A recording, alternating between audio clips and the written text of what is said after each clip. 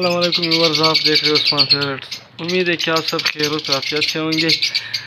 آج ہم کھولنے کی پروگریس دکھائیں گے، جیسے کہ آپ سب کو معلوم ہے سیزن کا ہینڈ چل رہا ہے۔ تو ماشاءاللہ سے میرے بلو پسناٹا نے الحمدللہ الحمدللہ سے البینو کے بچے نکال لیے ہیں۔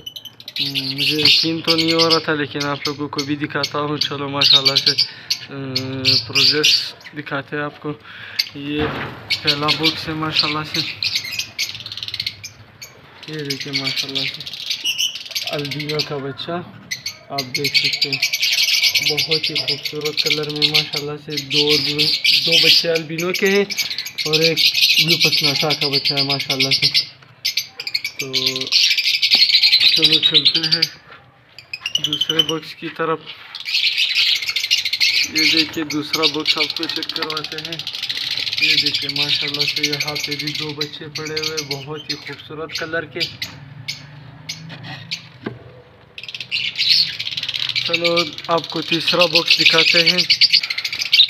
یہ دیکھیں دوستوں ماشاءاللہ سے اس میں چار بچے پڑے ہوئے آپ دیکھ سکتے ہیں، بہت ہی خوبصورت کلر کے۔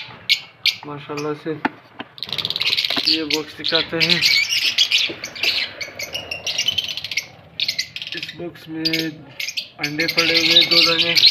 اس باکس میں دو انڈے پڑے ہوئے تھے، ماشاءاللہ سے دوستوں اور یہ باکس چیک کر چیک کرتے ہیں۔ یہ دیکھیے، ماشاءاللہ سے دوستوں یہاں پہ بھی دو بچے پڑے ہوئے ہیں۔ بہت ہی خوبصورت کلر کے، ماشاءاللہ سے۔ تو یہ تھی کولنی کی پروگریس دوستوں آپ نے دیکھ لی کولنی اور یہ کولنی ماشاءاللہ سے نئی بھی بنائی ہے۔ بہت ہی خوبصورت لگ رہی ہے، ماشاءاللہ سے۔ تو آپ دیکھ ہی سکتے ہیں ماشاءاللہ سے۔ کھولنی بہت خوبصورت لگ رہی ہے۔